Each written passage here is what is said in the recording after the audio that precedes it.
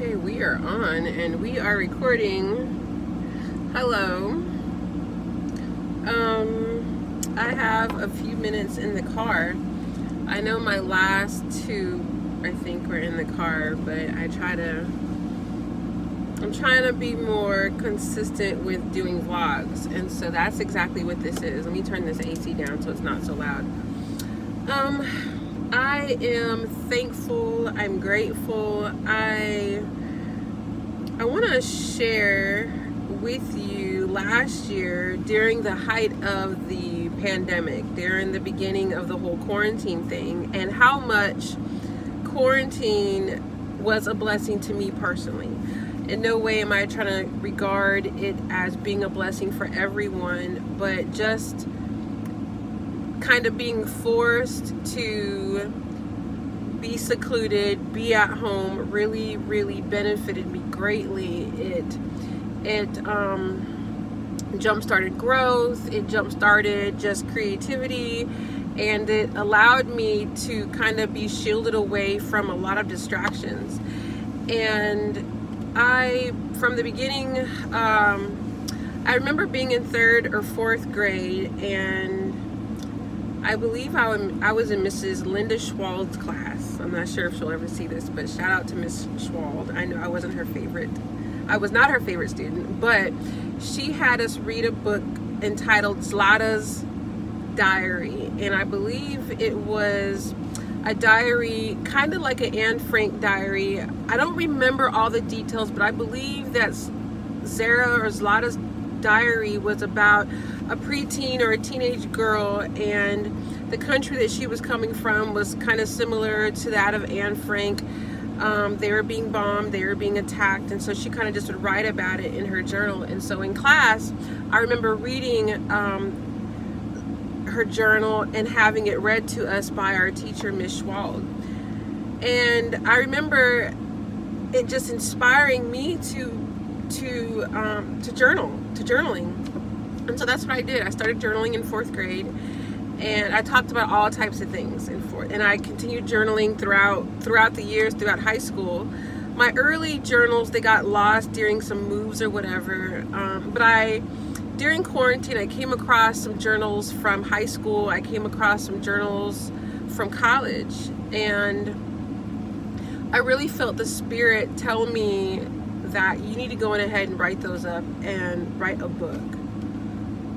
And so I was like, nah, I'm too embarrassed. That stuff was really crazy. Like, I don't want, nobody's gonna read it.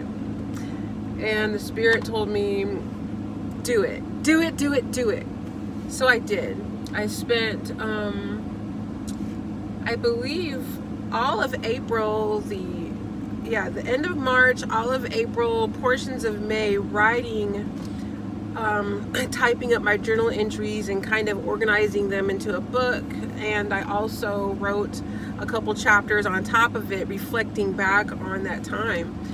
So I completed the book and I um, submitted to get it copyrighted. And I got it ISBN, and so it's kind of just been sitting around. And I'm telling you this because I want to put it out there and not just sit on it and not just be fearful or it's all fear. Not wanting people to know that kind of intimate things about me number one. Number two um, it being perceived as being oh this is dumb this is a waste of time or this is trash. And so I came I was having a conversation with somebody and they really inspired me to to you know to release it. It's almost done. I have the formatting to do and I have um, the book cover and that's it. I've done a majority of the formatting but it needs to be reformatted to, to go on to Amazon. It's got to be under a certain format and it's done. And so I want to make it a, a goal of mine this month is April, the day after think the day after not Thanksgiving, the day after Easter to put it out at the end of the month. I really want to make that happen. And so yesterday I was thinking about it, like, man, that book is going to be trash. Nobody's going to read it. Um, you know, it's a it's a big, thick waste of time. That is what like the enemy was whispering in my ear. But as the enemy was whispering into my ear, I heard the Holy Spirit. The Holy Spirit said to me, and it'd be funny, he was like, Are there other books out there that are trash? I was like, Yeah. I've read some trash books, but one man's trash is another man's treasure. So just because I read a book and I considered it trash doesn't mean that the next reader of the book would consider it trash.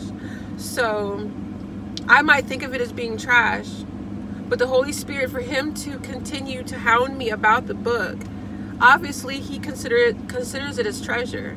And even if it flops and nobody likes it, and nobody reads it, or if people read it and give it bad reviews, at least I did it. At least I put that trash out there.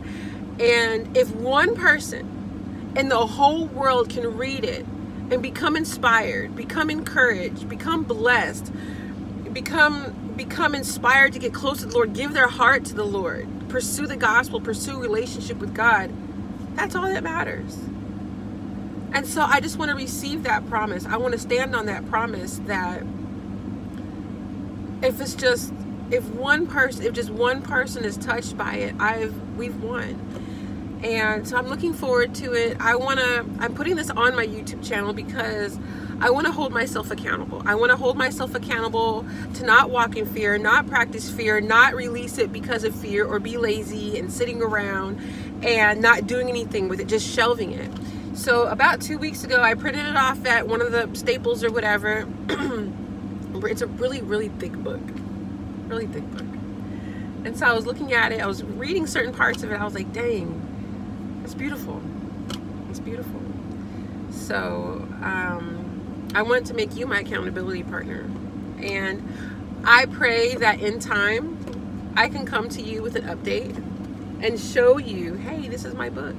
You know, I really want to do that. That is like, that is like my ultimate goal for this year. My ultimate, ultimate goal this year is to release my book and to put it out on Amazon.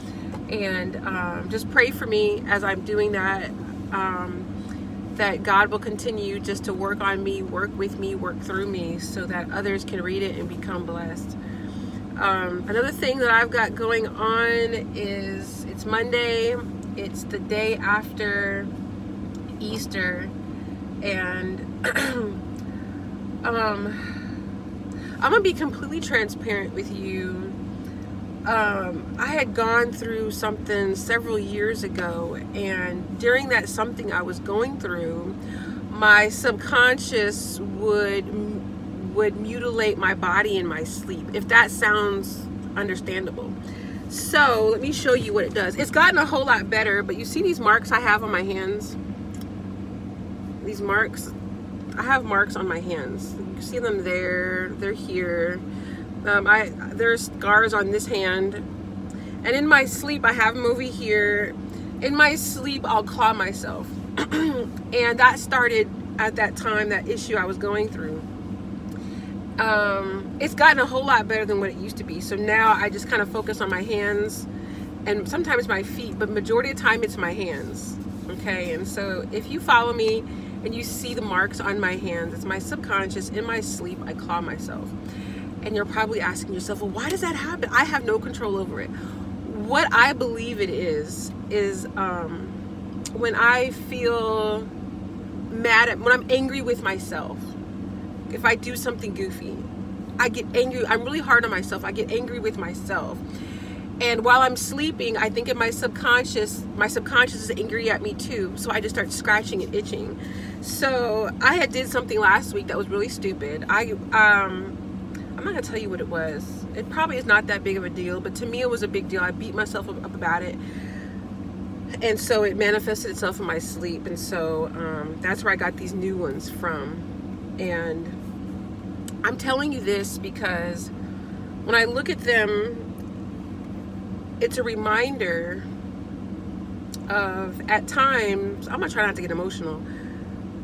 At times, I'm human, we're all human, and we make mistakes and we goof up. And it's easier, God forgives us a whole lot quickly, quicklier, if that's a word, than we forgive ourselves.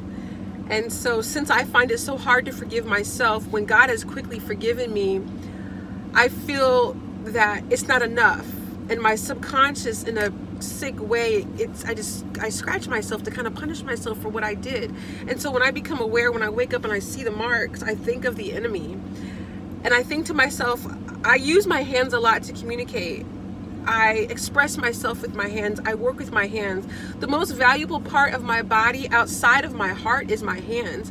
And what the enemy does is he, he whispers lies into my subconscious while I'm sleeping, what causes me to kind of mutilate my hands while I'm sleeping. And I told the Spirit, I said, Lord, I don't care how much He whispers to me and reminds me of the goofy things that I do so that I have to sit there and look at these marks and these scars on my hands that I put there myself. It doesn't matter if I end up having scars and marks all over my hands for the rest of my life, I will always be thankful and I will always be grateful. And no matter how many marks and stuff that are on my hands or marks that I might put on my body, I'm never going to stop telling people about the love of God. I'm never going to stop telling him how I got over and how I've been delivered. And all the messages that I produce, all the all the all the thoughts that I share, it comes from a place, it comes from a beautiful place. So if the only thing the adversary can do to me is whisper stupidness in my sleep while I'm sleeping and give me these scars, well, knock yourself out because it doesn't even matter. it doesn't even matter. So I don't know if that's something that you struggle with but I want to encourage you that don't let the enemy sit there and remind you of your foolishness. Don't let him remind you of that because it doesn't matter. What matters is that we continue to press forward and I continue to remind myself, hey, God has forgiven me. I can forgive myself as well. Anyways, I'm a, that's enough on that tangent. um, that's all I wanted to share. I'm outside of an appointment right now, but I am Nicci the Great. And together we are growing, sharing, and thriving.